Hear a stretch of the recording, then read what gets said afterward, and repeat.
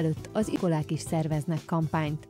Elindult az idősek oltási kampánya is. Személyesen keresik fel azokat a 60 év felettieket, akik eddig még nem kérték az oltást. Rekordra számít a hazai turizmus. Az 5,5 millió beoltott elérése után már védettségi kártya nélkül nyaralhat bárki a hazai üdülőhelyeken. A bejelentés óta csak nem harmadával emelkedett a belföldi foglalások száma, júliusban pedig rekordot döntöttek a hazai szállodák. Minden eddiginél többen nyaraltak belföldön. Újabb emeletes vonat közlekedik a Balaton déli partján. A már ismert Jégmadár és Napfürdő Express mellett a Panoráma Express vasárnaponként jár Fonyód és Kőbánya Kispest között ebben a hónapban. Díjmentes helyjegyen lehet igénybe venni, és 12 kerékpárt lehet szállítani rajta. Ellepik a PET kalózok a felső Tiszát, kezdődik a 9. PET kupa.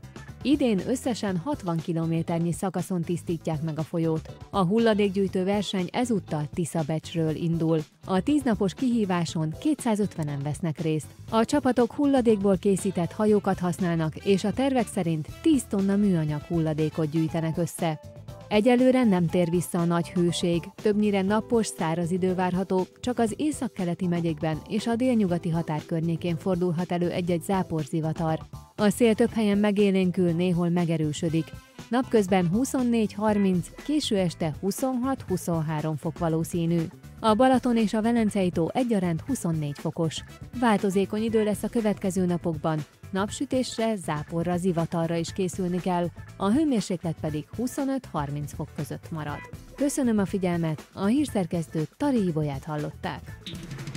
Budapest legfrissebb közlekedési hírei, itt a 90.9 jazz jó napot kívánok! A fővárosban a 3-as és a 62A villamos nem közlekedik a Nagy Lajos király útja, Cobor utca és a Bosnyák tér között. Egy szabálytalanul várakozó gépjármű miatt a Mexikói út és a Bosnyák tér között pótlóbusszal utazhatnak.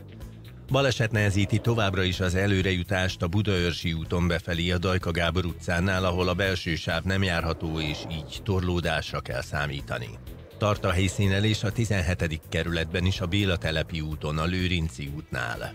Lassú az előrejutás a budai alsórakparton a Margit híd közelében délfelé. Erős a forgalom a Szélkámán tér környékén, továbbá fennakadásra kell számítani a Bocskai úton is befelé a Fehérvári út előtt, Telített a Hungária körgyűrű és a Nagykörút szakaszonként mindkét irányban, a Bajcsi Zsilinszki úton és az Andrási úton befelé az Erzsébet tér előtt egyaránt lassulásra kell számítani csak úgy, mint a Rákóczi úton a Barostértől a Blahalújza térig.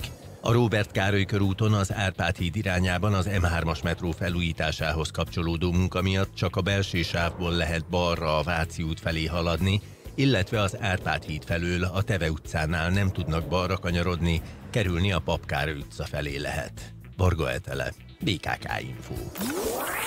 A hírek után már is folytatódik a millás reggeli, itt a 90.9 jazz Következő műsorunkban termék megjelenítést hallhatnak. Kősdei és pénzügyi hírek a 90.9 jazz az Equilor befektetési ZRT szakértőjétől.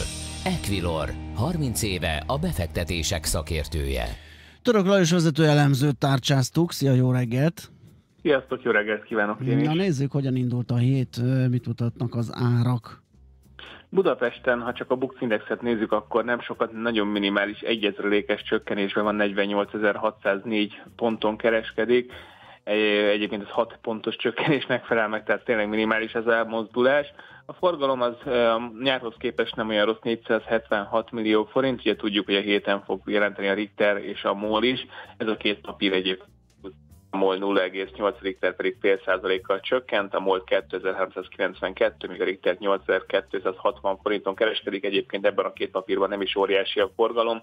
Annál nagyobb a forgalom az OTP-ben 377 millió forintos, és ez 0,7 százalékos pluszban 16430 forinton van, tehát ez segíti a mai, mai, mai nyitást.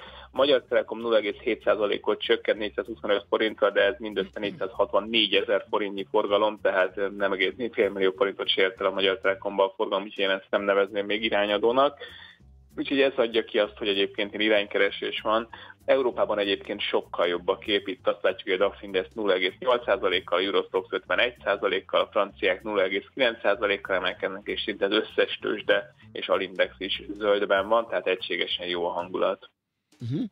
A devizapiacon mi a helyzet, a forint hogyan alakul? Ugye valamelyest erősödött a múlt héten, de azért az nem volt túl látványos, nem tudom, hogy most hogy indítja a hetet. Hát látványosnak még azért nem nevezném, de nem néz ki rosszul. 357 forintot és 29 fillért egy euróért, tehát ez majdnem egy forintos hmm. emelkedés már a pénteki befejezéshez képest, és azért úgy tűnik, hogy ismét elmozdultunk erre a 360 forint fölötti forint árfolyamokra, ami mindenképpen pozitívum. Meglátjuk, hogy ez hogyan tud folytatódni, azért úgy tűnik, hogy egy bank támogatása mégiscsak elég lehet egy kisebb erősödési ciklus elindításához.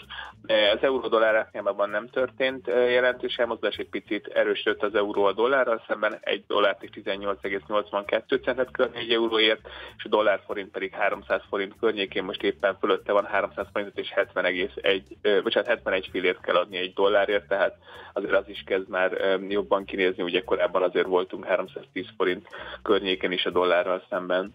Igen, amikor ott az 1.18 alatt pörgött az euró dollár igen, kurzus. Igen. És ráadásul ugye akkor a forint is följebb igen, volt egy igen, az euróval igen. szemben, tehát az a kettő kiadta, igen, azt, hogy ott azért rosszabbul is álltunk. Egyébként még annyit emlék, hogy a határidős árak alapján Amerikában is valószínűleg fél százalék körüli pluszban nyithatunk a mostani számokat nézve, Aha. az S&P 500 épp a legerősebb 0,7 százalékos emelkedésével, de nagyjából egységes egyébként a Dow Jones és az is szorosan követi. Na hát ezek nem rossz hírek. Oké, okay, köszönjük szépen, jó munkát, szép napot! Köszönöm nektek Szia. is! Török Lajos vezető elemzővel beszélgettünk az árfolyamokról. Tőzsdei és pénzügyi híreket hallottak a 90.9 jazz az Equilor befektetési ZRT szakértőjétől. Equilor, 30 éve a befektetések szakértője.